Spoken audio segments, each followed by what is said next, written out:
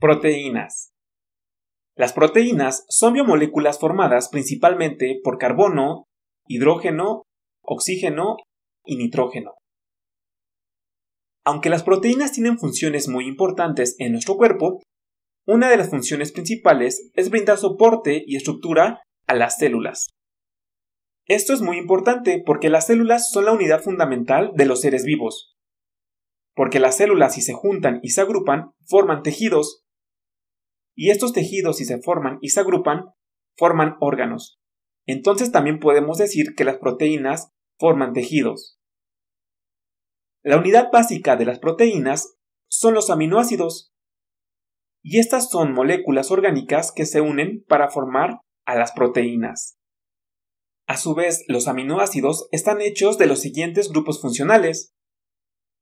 Un grupo amino, y un grupo carboxilo. Existe una gran variedad de aminoácidos, y estos cuando se juntan en cadenas muy largas se forman las macromoléculas, que en este caso son las proteínas.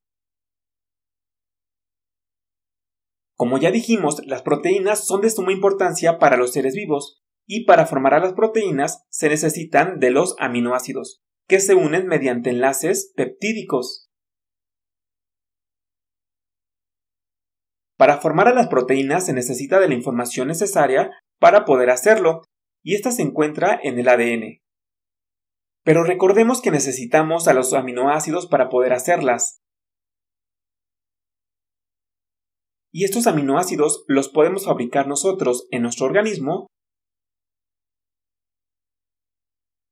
o también los podemos obtener a través de los alimentos, de aquí podemos decir que los aminoácidos no esenciales son los que nuestro cuerpo puede sintetizar, mientras que los esenciales son aquellos que se obtienen a través de la alimentación.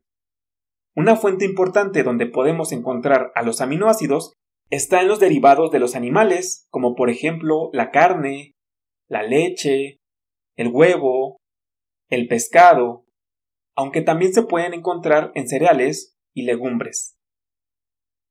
Si nos vamos a la célula, en ella se encuentran los ribosomas,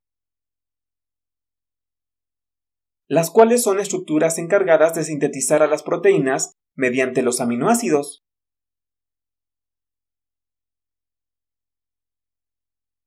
Las proteínas se pueden clasificar de acuerdo a su estructura. Proteínas primarias, que estas son las cadenas largas de aminoácidos. Secundarias, las cuales son cadenas largas de aminoácidos con pliegues debido a las interacciones entre los hidrógenos, formando puentes de hidrógeno. Estas proteínas generalmente están en forma de hélice. Proteínas terciarias.